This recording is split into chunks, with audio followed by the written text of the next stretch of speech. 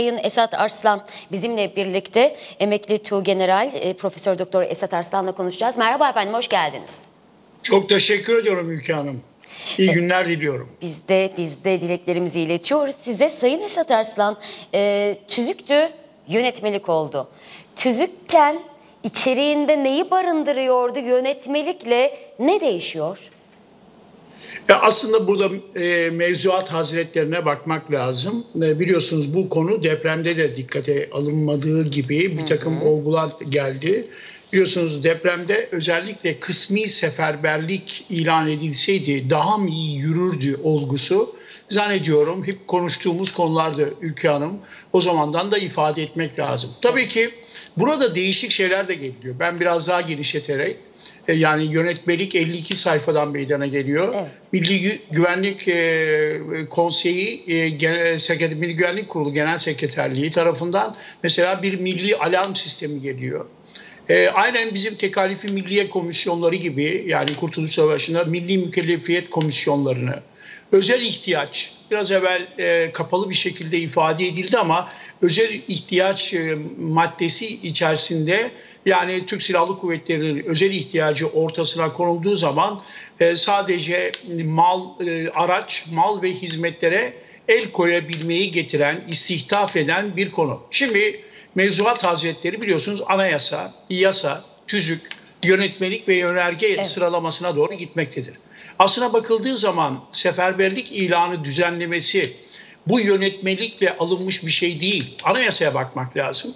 Anayasanın ilgili maddeleri, madde 92 çok açıktır. E, biraz evvel sizin de çok güzel bir şekilde belirttiğiniz gibi bu 119. maddesiyle 2017'de torba yasa kanunuyla 6771'di galiba 13. E, maddesinde biraz evvel sizin de belirttiğiniz gibi Cumhurbaşkanı savaş, savaşı gerektirecek bir durum baş göstermesi, seferberlik, ayaklanma, hı hı. vatan veya cumhuriyete karşı kuvvetli ve eylemli bir kalkışma. Ee, ülkenin bazı yerleri mealen ama e, birebir okuma e, söylemek istiyorum. Ülkenin ve milletin e, bölünmez bütünlüğü içten dıştan tehlikeye düşürecek o tabii ki tamamıyla şiddet hareketlerinin yaygınlaşması, anayasal düzen vesaire gibi saydığınız zaman tabi afet, salgın bütün bunları istihdaf edecek, bütün hedefleyecek ifadesiyle söylüyorum. Ee, süresi e, e, 6 ayı geçmemek üzere olağanüstü hal ilan etme etkisi zaten 119. madde doğrudan Cumhurbaşkanı'na vermiş durumda. Yani bu yönetmelikle elde edilmiş değil. Dediğim gibi hı hı. en üstte anayasaya bakmak lazım. Anayasa e, tabii ki olağanüstü hal ilan kararı verildiği gün resmi gazetede yayınlayacaksınız ve aynı gün Türkiye Büyük Millet Meclisi'ne onayına sunacaksınız. Mesela bizim İstanbul Sözleşmesi'nden çıkış kararı da biliyorsunuz Cumhurbaşkanı Tabii. kararıyla olmuş. Tabii tek bir. Ee, bunu da daha önceki e, şeylerini yayınlarımıza ifade ettik. Tabii, tabii e, bir başka konu tabii önemli. Belki soruyu şu şekilde sormak lazım. Efendim e, işte biraz evvel de ifade ettiğim gibi ee, yani bu e, neyi aldı neyi götürdü? Yani anayasaya baktığımız zaman anayasada zaten bunlar var. E, bu yönetmelik alt taraftan gelen bir baskı üzerine yani sadece şey değil tekrar e, söyleyeyim e, özellikle silahlı kuvvetlerden gelen olguyla bu oluştuğunu ifade etmek istiyorum. Yani hakikaten e, şu anda yani e, Demokles'in kılıcı gibi savaş tamtamlarının çalmış olduğu bir iklimde bulunduğumuz için iklimi bölgesel olarak kullanıyorum. Eski bir tabir olduğu için evet. söylüyorum. Bu bölgede bulunduğumuz için e, bu e, biraz da silahlı kuvvetlerin özellikle personel ve lojistik sefer, seferberliği ile ilgili olarak e, ortaya koymak lazım. Mesela yedek personel kaynağı bakımından kaldırılan tüzükte önemli bir ayrıntı vardı efendim askerlik çağı içerisinde muav, muazzaf hizmetini, muazzaf biliyorsunuz elbisenizi giyeceksiniz. Bu şekilde yapılan hizmete biz muazzaf hizmeti diyoruz. E, tamamlamış personel, e, yedek personel yönetmeliğin 35. maddesinde yedek personel kaynağının tespit edilmesiyle biraz daha genişletiliyor. Ha bu ne demek? Buraya bakmamız lazım. Ee, burada e, bakıyorsunuz e, bunun genişletildiğini görüyorsunuz. Yani yedek personel kaynağı efendim biraz daha genişletiyor. Bunun çok ayrıntısı olarak da ifade edeceğim. Yani ama burada önemli bir tespit var. Şunu söylüyorlar. Yani burada millilik vasfı. Yani daha önce eğer yüz kızartıcı suçtan bir seneden az ceza aldıysanız tekrar silahlı kuvvetlere dönme e, kapısı açılıyor. Yani e, bu belki bazı yazarlar tarafından FETÖ'nün efendim tekrar silahlı kuvvetlere girme kapısının açık açılması gibi ifade ediliyor. Benim e, çok önemli okusunlar ve de ifade etmek istiyorum. Bir yıllık ve yüz kızartıcı bir suçtan eğer Evet. silahlı kuvvetlerinden uzaklaştırıldıysanız tekrar silahlı kuvvetlere dönme hakkını elde ediyorsunuz. Yani e, bu bence önemli bir ayrıntı. Millilik parametresini ortaya koyuyor. Yani burada anayasanın değişikliğine odaklanmak lazım. Yani bu yönetmelik efendim her şeyi yapar değil. Nereden alıyorsunuz?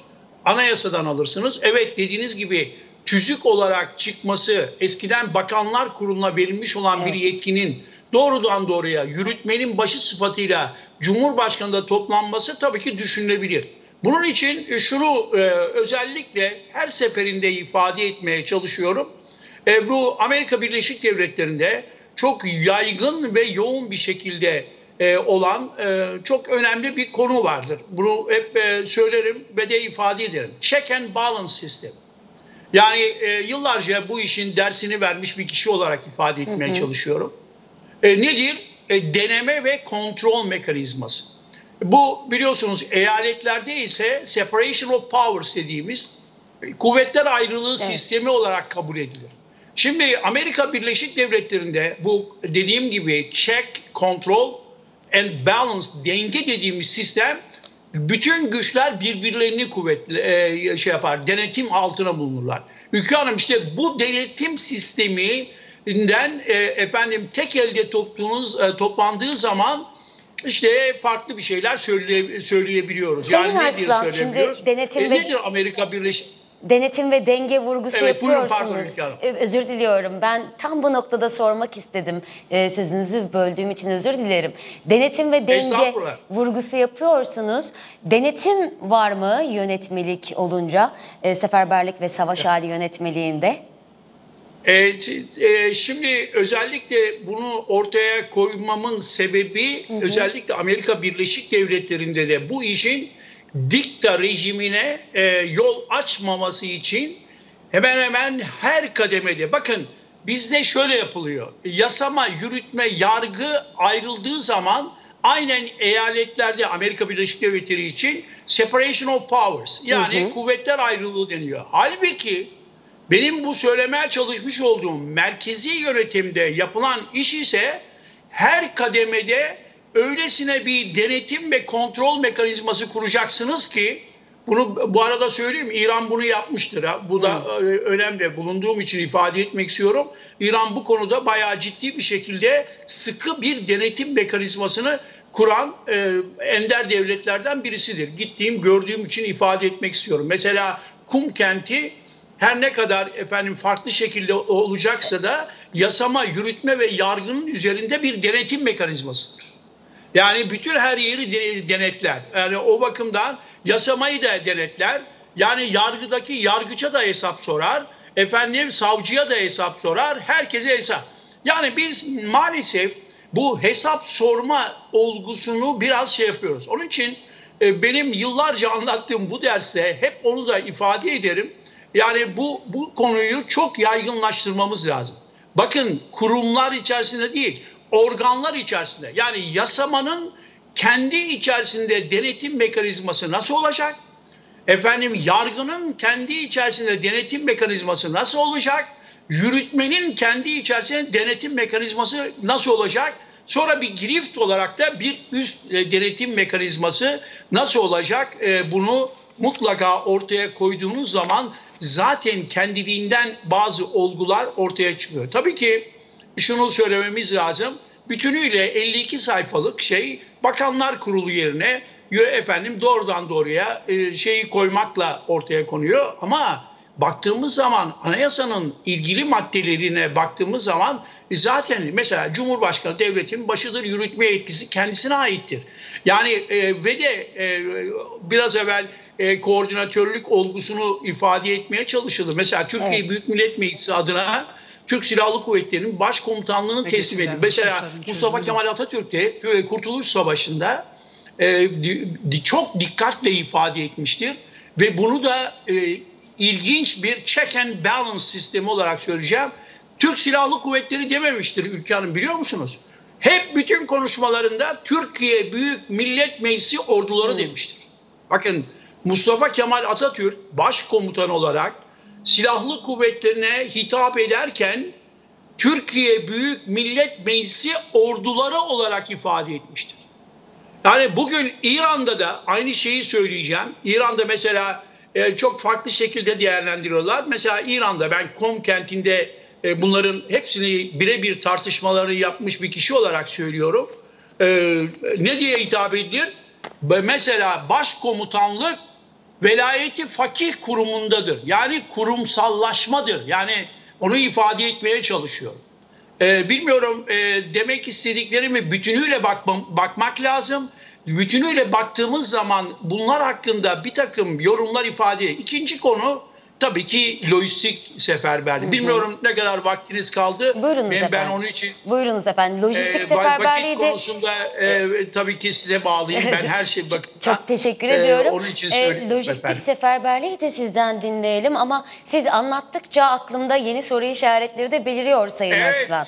e, Ee, bu o- hani bir, evet bir kamyon yazısına yazıyor ya mevzu derin. Tabii. Mevzu derin Mevzu böyle tabii derin. ki çok derin bir şekilde ifade etmemiz lazım. Tabii. Ee, Şimdi yani e, e, bu- lojistik seferberliği sizden dinlemeden önce e, ben o kontrol ve denge unsuruna biraz takıldım. Siz e, derslerini de verdiniz. Şimdi burada Danıştay'ın bir denetimi vardı değil mi? Danıştay denetleyebiliyordu daha önce.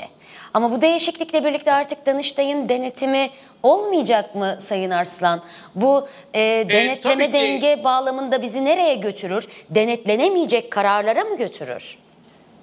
E, yani denetlenemeyecek kararlar belki e, benden önce e, değerli e, efendim tanıdığım İsmail Hakkı Pekin, Pekin Paşa e, bu konuyu ifade ediyor ama şöyle bakmak lazım. Yani seferberlik ilan etme etkisi kime ait dediğiniz zaman zaten anayasada mü- mündemiş. Yani yürütmenin başı olarak karar Cumhurbaşkanı tarafından alınabiliyor. Yani öyle baktığımızda. Tabii kaldırılan tüzük yerine seferberlik ve savaş hali yönetmeninin yürürlüğe girmesiyle e, tabii ki bu daha önce Bakanlar Kurulu kararıyla alınan şeyler. Tabii bu konu bana kalırsa yani o tüzükten ziyade bir anayasal olarak mündemiş olduğunu yani yürütmenin başına bakmak lazım.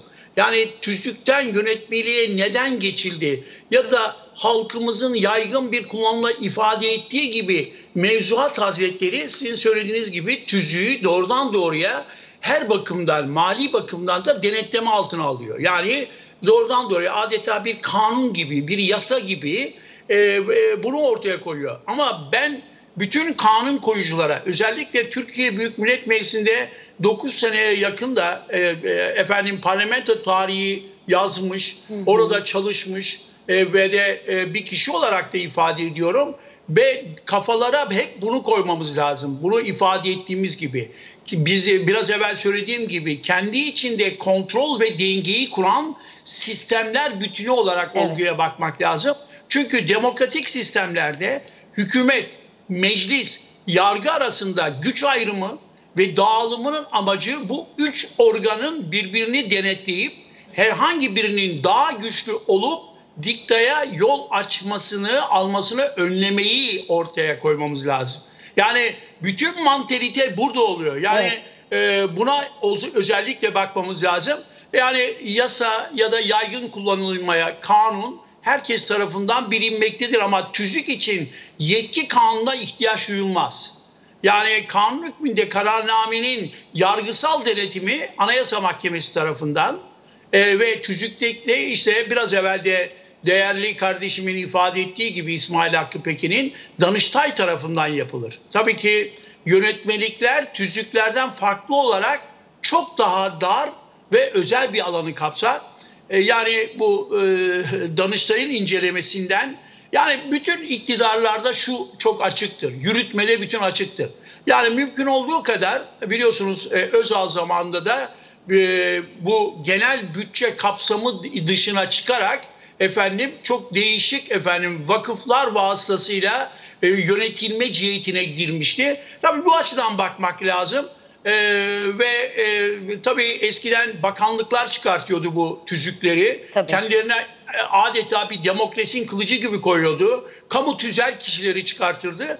E, tabii ki e, yani bu bir kere hani vardır ya aşkın kanunu gibi e, yani ama bunun e, bir şekilde kaçmak e, demeyeceğim ama e, denetimden bir e, bir şekilde e, dışarıya çıkmak isterler ama şu kadarını söyleyeyim e, şöyle bütünüyle baktığımız zaman e, öncelikle e, e, efendim e, anayasanın içerisindeki maddeler zaten Sayın Cumhurbaşkanı'na bu işi yapma yetisini verdiğini söylemekle yetinerek yani, sözü size bırakıyorum. Cumhurbaşkanlığı hükümet sistemine aslında uygun hale getirildiğini ben anlıyorum.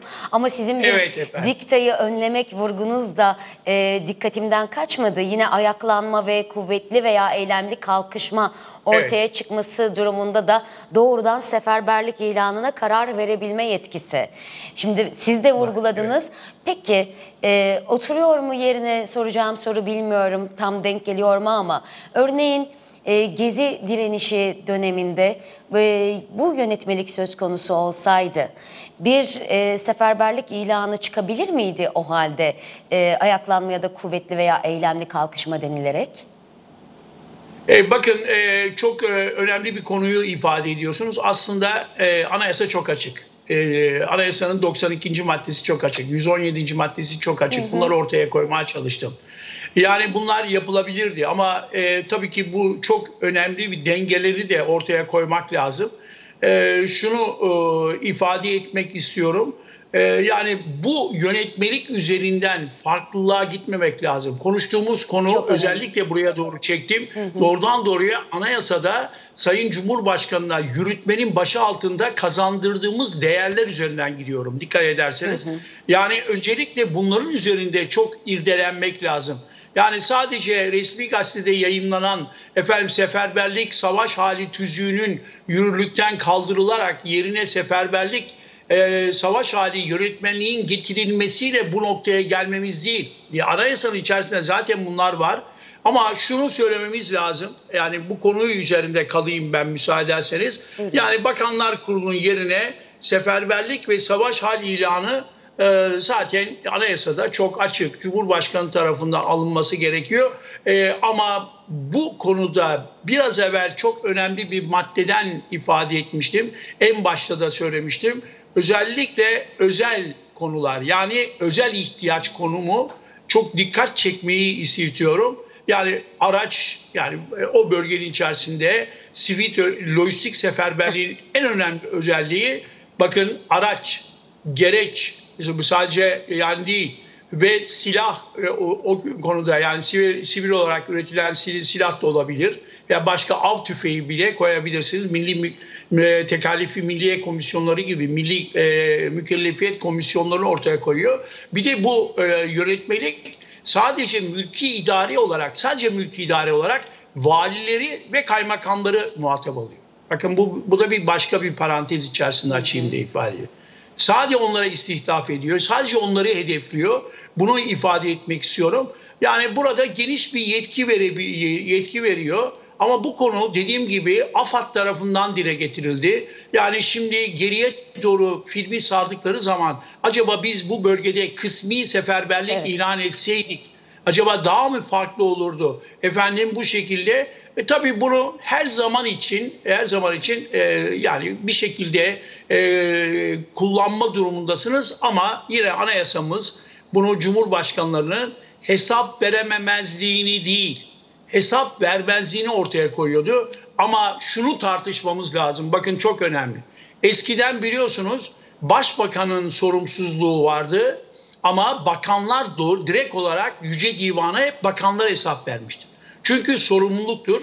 Ama burada Cumhurbaşkanı'nın içerisine aldığınız zaman e, bunu bayağı ciddi bir şekilde yani e, yargılanamamazlık Evet. ilkesi içerisinde telakki edildiği zaman farklı bir konuma doğru gidersiniz. Onun için biliyorsunuz e, Cumhurbaşkanı'nın devletin başı olarak yargılanması için de resmi gazetede düzeltiyorum anayasamızda e, yani e, 105. maddeyi bütün herkese 2017'de diye yani Cumhurbaşkanı bir suç işlediği iddiasıyla Türkiye Büyük Millet Meclisi'nin üye tam sayısının salt çoğunluğunu vereceği önerge önemlidir.